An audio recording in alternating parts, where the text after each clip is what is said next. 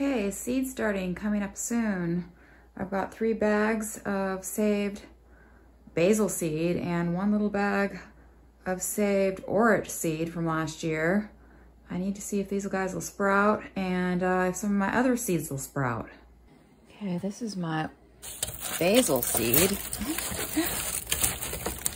We're gonna focus, focus, focus, focus. There we go.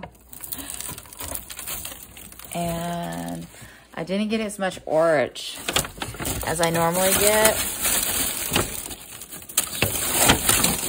I should have had a couple more plants. I should have started them earlier. I've just been running my hands down like this, popping the seeds off. Done. Quite a bit of basil seed, although there's a lot of leaves in there too. And a little bit of orach.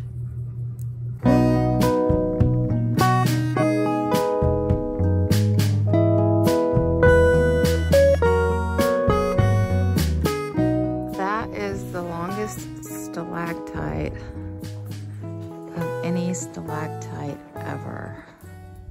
Gosh diddly darn it, folks. It's snowing again. I'm checking to see if some of the seed will germinate. Most of this I'm not relying on for the garden except for this orach. Um, I just want to see, you know, some of this stuff that I saved myself from the garden if it'll germinate. Starting out with uh, Ruby Red Orach. This is all the way from 2021. I think I already had problems with this germinating, so I want to check. This is my own saved orach from 2023. And then I also have the stuff that I just saved from the orach from 2024. And then I've got bok choy and spinach, both from 2023 that I saved from the garden, along with this basil seed that I saved from 2024. So I've got all of the orach here in this tub and then the bok choy, spinach, and basil in this tub. So yeah, this will be interesting to see how this turns out. And just to clarify, when I say 2023 seed, it was harvested in 2022 for the 2023 season, which is why it's possible to have basil seed.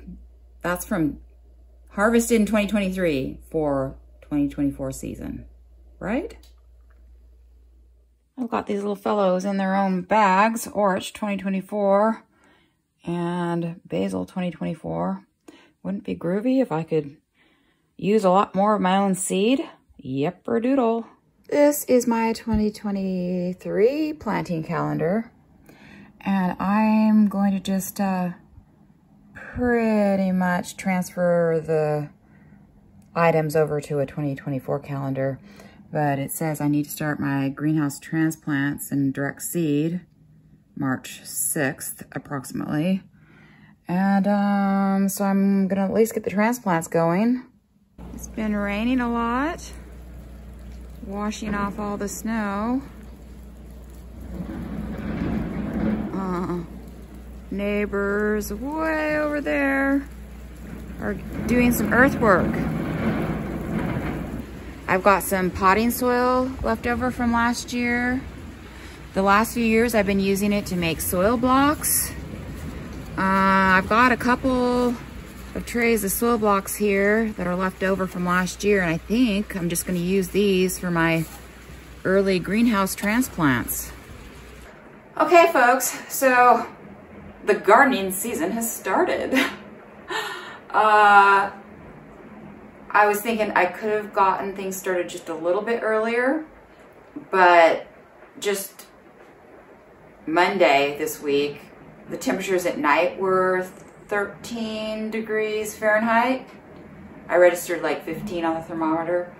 Um, and so, so yeah, everything was frozen frozen. And as soon as these things germinate, I need to get them out to the greenhouse on greenhouse tables, covered up with a little blanket. But it can't be that cold, right? So anyway, I still don't have a cold place to start my vegetable seedlings.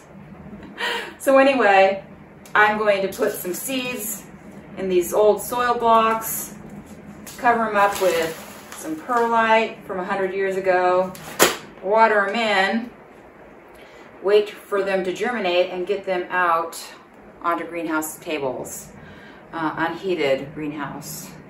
I would also like to get some orach and some spinach direct seeded into those beds right now because the temperatures are fine. Um, but I've been kind of feeling like head pressure, kind of tired. And so I've just been hobbling around, just doing the bare minimum. I would like to have gotten snow shoveled onto those beds in the greenhouse because it's so good as it melts, just really getting the soil wet um, for planting seeds and stuff. But I was just too worn out. So I haven't been out to the greenhouses for months.